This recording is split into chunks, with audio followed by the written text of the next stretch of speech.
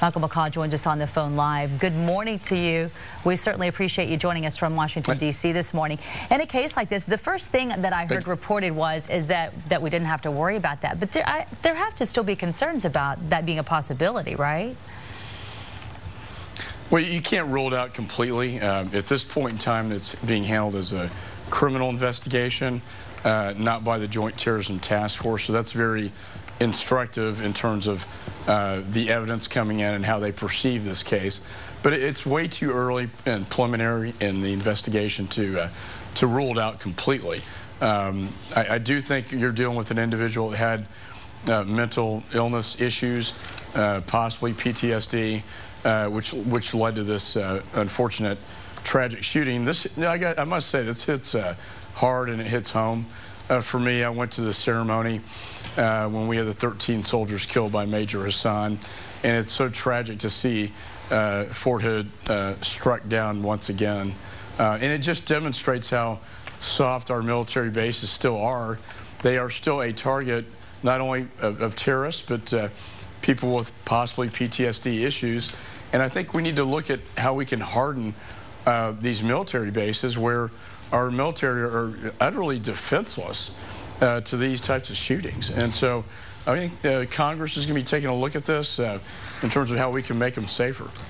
Now, Congressman, you are chairman of the Homeland Security Committee, so this apparently has to be something that your committee will be looking at, and that is the security for military posts and or bases. Since 2009, have you seen an improvement that could have possibly prevented what happened yesterday?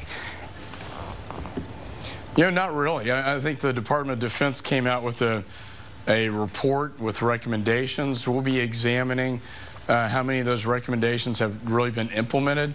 Part of my job is prevention uh, to stop things like this from happening, particularly on our military bases, which we know are still vulnerable. But the fact uh, that this guy could, could drive on the base with a 45 caliber pistol um, and, and wound uh, 14 and kill uh, four others, uh, just shows you that it's still we're still not where we need to be. Um, and um, I think that's something that we'll be looking at in terms of our oversight capability in the Congress to, to harden uh, these military bases. This is just uh, one of many, many cases out there, both terrorism related, uh, but also uh, mental illness cases where we've seen shooters come onto bases. Uh, and frankly, in Fort Hood, we were able to stop a, a, a terrorist attack where a terrorist was going to blow up a Chinese restaurant and kill uh, soldiers from Fort Hood uh, at that restaurant. We were very lucky uh, in that case. Unfortunately, we were not so lucky. Uh, you know, yesterday. Oh no, it's it's a tough thing, especially with it being in our own backyard. I feel that we feel so connected to Fort Hood in the Houston area, and at this point, we haven't heard a whole yeah. lot about the victims. Have you heard about anything about them? Perhaps if any of them might have been from the Houston area. You know, I, I, have not. We have not gotten uh, received a list of all the the victims and their names. Um, obviously, the Department of Defense is uh, protective uh, at this point for obvious reasons. Um, but uh, you know, we know that most of them were, were uh, active duty.